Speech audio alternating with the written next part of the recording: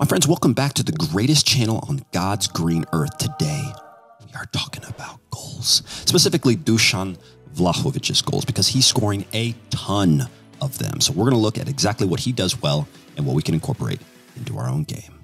Let's go.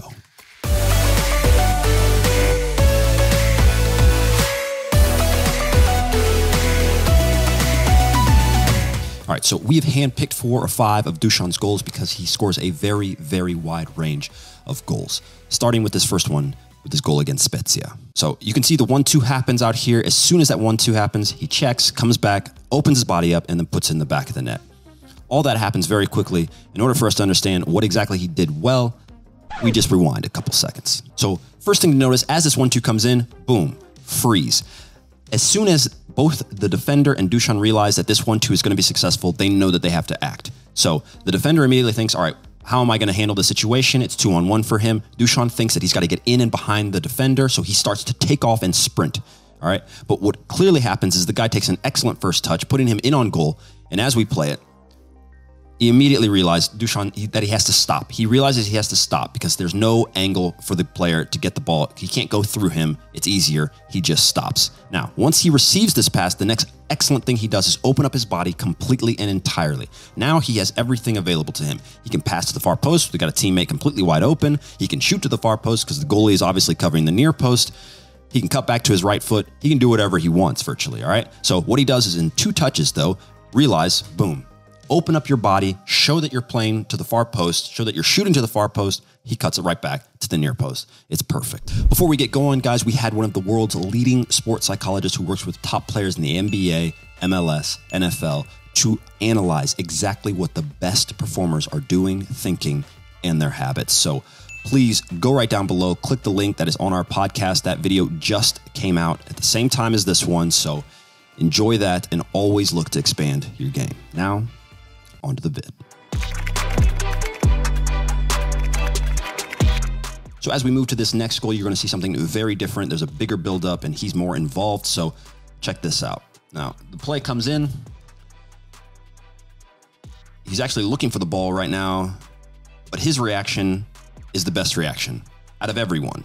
Out of everyone. All right. So it's very easy as a defender to, to fall asleep. You have to be on all the time. And if you turn off once, that's when the goal could happen. And that's exactly what we see here. So first things first, normal build up. The play is a bit advanced. He gets the ball to his teammate and then you just keep pushing and keep moving forward. Now, all right, as we freeze right here, we can see now the play is at its critical point. He's cut in. It looks like he's about to have a shot with his left foot. Dusan and all his teammates are now looking for a pass and something like this. What ends up happening, of course, is that he turns around, quite good actually to find the space because now as everybody's pushing all of them the defenders they know they have to stay compact the ball gets swung out wide now this is the point with which the goal was made all right not just all of the great work that had already happened but this point right here is what gave Dusan the advantage. The defender has his back to Dusan. He's essentially lost him. And what that means is that you can surprise him by using just a little bit of a sprint to get in front. So many goals have been made like this, and he does this perfectly. All right. So he checks like he's going to the left side of the defender. And of course, he isn't at all. He sprints the defender. It's too late for it to happen.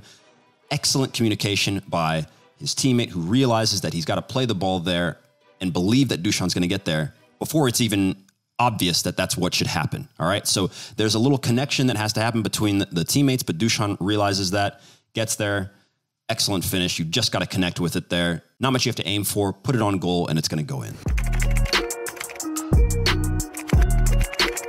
So now we've seen both goals inside the box to see exactly how he's moving and running, and most goals as a striker are scored in and around the box. This one gets created well outside of it. So we've highlighted this before. Ibrahimovic does this incredibly, incredibly well. Now, a situation you're going to find yourself in always as a striker is being more or less the last man or with the last man. As you can see, they're playing a very high line here. And when that happens, if the goalie isn't closing that gap, means that there's space in and over and behind. So once you see a player with his head up, that is the signal for you. All right.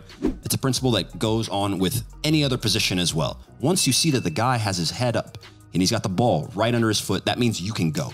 All right. And Dusan realizes this. He takes off and it's too late. All right. So the defender realizes it, but he realizes it too late because Dusan is at a full sprint and you, of course, are running backwards as a defender. It's just not going to work. So once that happens, he can never, ever truly recover. He's already in on goal. The next thing that he does, goalie does a great job of coming out to try and close down the angle and actually does a, a really good job of pushing him wide because he takes his touch way wide. All right. That defender who's still trying to recover just doesn't quite make it, puts it in the back of the net. As you can see, Dusan takes that touch very far wide. Now, he doesn't really know where the defender is. He knows he's coming. He's got to understand that he's coming. You didn't see him look back and you didn't see all that. He knows what's going to happen. One of the reasons that he scored this is because he put the ball in the air. He put the ball in that danger zone. All right. Now, we've talked about this on our one on one goals. We were specifically talking about what to do to put it, where to put the ball for, for goalies that they have zones that are hard. It's hard for you to do this. It's hard for you to lift your leg right there in these spots. That's why he scored. Had he put the ball on the ground, there is a slight chance that that guy could have gotten to it. All right. He does a really good job in doing his super yoga split. All right. Looking like a, uh, I, I, have no idea, like a gymnast or something like that. It's just it's just not going to work. But know this: when you're going to finish these these balls in on, especially on one on one and stuff like that, if you can lift the ball and it's the last defender, you can't use his hands that's going to guarantee that the ball goes in. All right. One more note, the very last thing that also set this up for him when you guys go and you're one on one with the goalie, he has. So if we freeze it here, you can see that he has all of the options available to him. He's about to get to the ball. He's got enough space and time. He could try and slot it, whatever. There's a whole bunch of things that he could try. His momentum is carrying him forward. He was at a full sprint before, so it makes sense that the goalie is just not going to be able to get to him. So he takes his touch and he takes it wide. Now, Notice that the goalie could have fouled him. He could have reached in, but he's done a pretty good job of hoping and praying that he's pushed him far enough wide. But in the end, he just hasn't.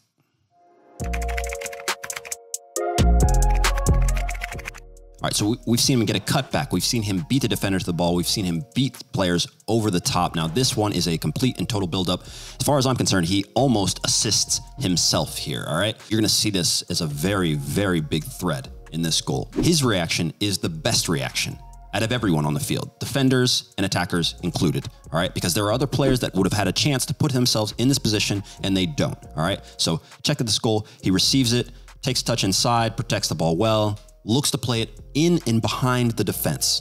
Okay, what I want you to look at right now is the reaction from Dusan compared to everyone else. Everyone else. We're just going to let this play now. He keeps going.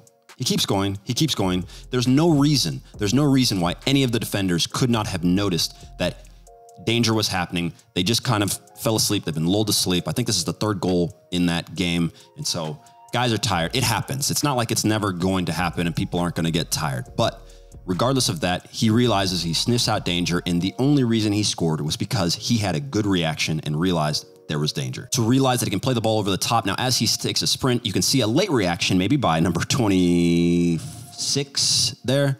His teammate realizes that all he has to do is play the ball behind the defenders and all wingers, anybody, if you guys are playing out wide on the wing, so many of the times you don't even need to pick out a player. You just need to put the ball behind and let your teammates run onto it. Putting the ball in that space is so dangerous. And as a striker, you've got to realize that that's where the danger is. So even if Dusan didn't get it, he's got a teammate right behind him that probably could have gotten to the ball and put it in the back of the net. So if you combine all the things that we've talked about today, that's what ends up happening. That's why this guy's scoring so many goals in Serie A. All right. My boy Ciro Immobile, I think, has more goals than him in less games. However, doesn't take anything away. That when you start putting all the pieces together, that he's got it, right? Okay. Those are the type of things that you as a striker and you as an attacking player, if you can incorporate all that stuff, you'll see that your goals will start to go up. All right. So try to incorporate all of these things into your game slowly in training, in games if you can. When you're just messing around, when you're watching games, try and see if players are doing this stuff and watch as your own game changes. All right, my friends, that's the vid. You know what to do. Leave us a like, comment down below, subscribe, put that bell notification button on, and check out goluremi.com, where, of course, we have Goluremi Nation, the exclusive fight club for footballers. Okay, this is where we have hidden content, interviews, all that stuff. We have promo codes for all sorts of stuff. We have such huge plans for Goluremi Nation. Please go right down below. It is free right now, still, and it will not be for long. So please check that out and we'll see you guys next time. Peace.